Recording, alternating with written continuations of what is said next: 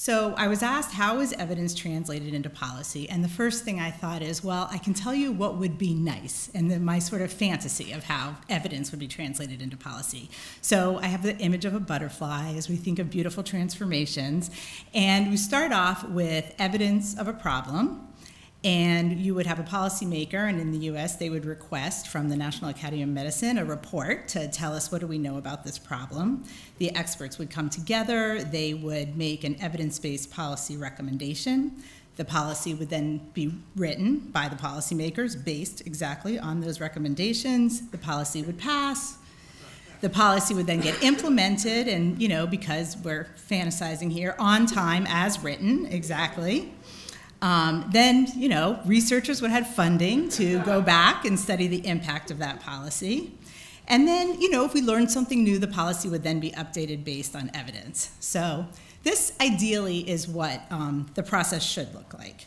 Now, in practice, it's a little bit different. Now, I think the beginning part is actually pretty good, at least in, in the area that I study in terms of obesity. We've had um, policymakers request reports, and we've had actually quite a number of reports come out where experts had have made evidence-based policy recommendations. But then this sort of sausage making process begins. Um, and the first group that shows up is the, in our field anyway, is the food industry. They want to be part of the conversation, they want to be part of the solution, and they want to know what's going on. Um, the lobbyists then show up in Washington, D.C., and you may eventually get a policy written. It may not quite be based exactly on the recommendations. Then you have more fighting um, in Congress or whatever body is making this policy. Um, I put the soda can here just to sort of remind me to mention. So, for example, in some of the cities that have passed sugary drink taxes in the United States, they, they all look different. Oftentimes, the amount getting taxed in terms of pennies per ounce will change over the course of this conversation. Sometimes diet soda will get added into the mix. So, we've ended up with quite a hodgepodge of different policies um, across the country. But eventually, a policy will pass.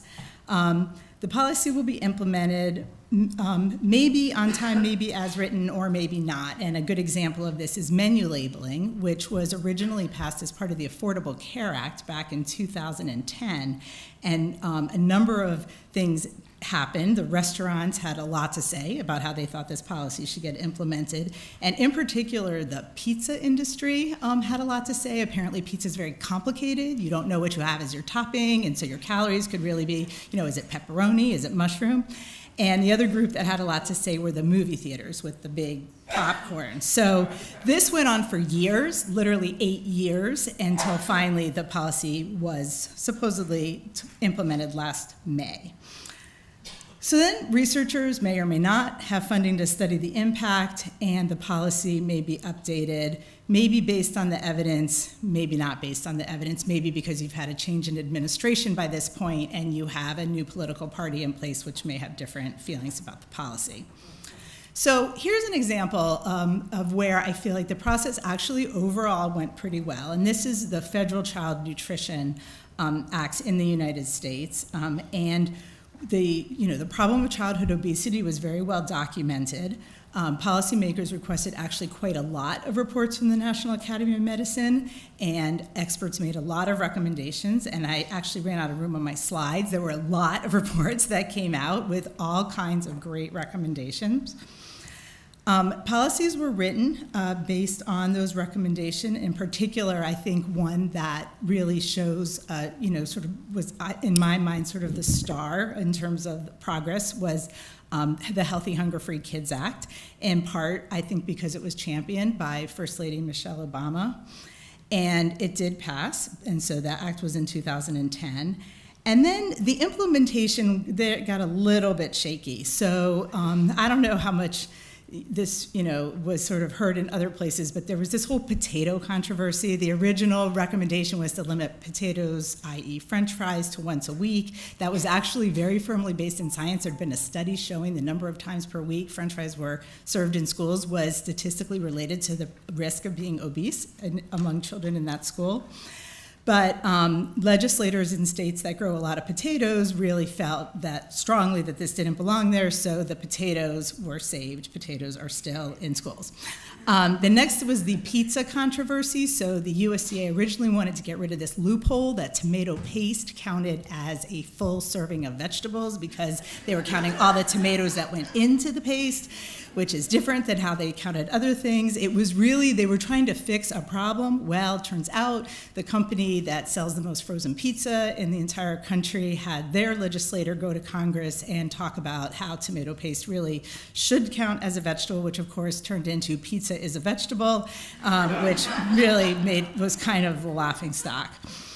Eventually, though, the Federal Register finally came out, the final rules came out, and I'd like to talk about what I see as awesome things that happened. Number one, um, full, sugar, full sugar soda is out. So that finally happened after years and years and happening in cities and states and sort of a hodgepodge around the country, became federal law under smart snacks that you can't sell those full calorie um, sodas or sports drinks in schools at all.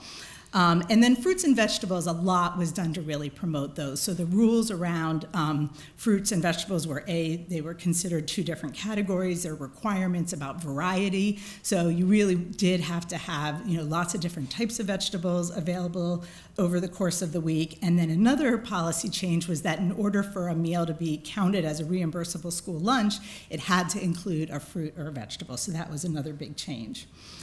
So researchers have been able to study the impact on this. Um, we did a study looking at plate waste because that was a big concern, and we were able to document with longitudinal data on the same kids before and after these rules went into effect, showing that there was no increase in the proportion getting thrown away. So that was great. Other studies have come out really looking at the nutritional quality of meals before and after, and showing that they have, you know, they're more nutrient dense and they have fewer calories. So that that's all good news.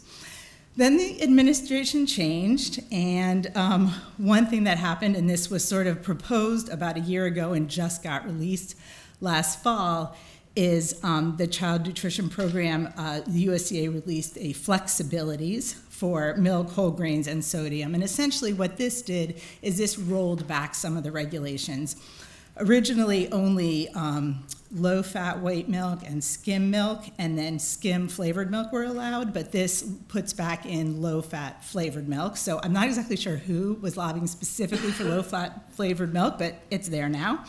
Um, the whole grains originally was supposed to be whole grain rich, which means more than 50% of the product is whole grain, and you were supposed to have 50% of your products be whole grain rich, and then it went to 100%. Well, now it's back down to 50%.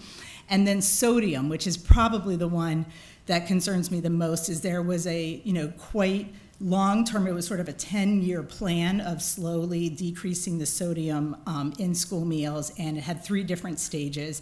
And it kept getting put off and put off, and eventually, this rollback basically took the second level and put that one out in the future and got rid of the third level altogether. So I think the sodium um, changes, unfortunately, really got took quite a big step backwards. So it was updated, not really based on evidence.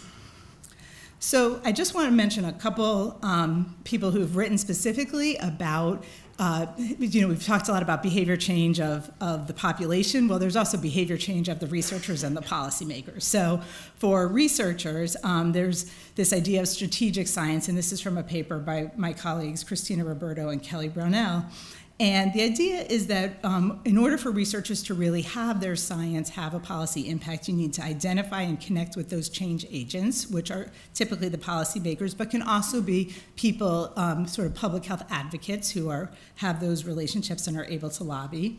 You want to develop strategic questions, sort of figure out where, what are the fights about, what are people disagreeing about, and what kind of study can I do to answer that question. You want to answer it in the most rigorous manner you can.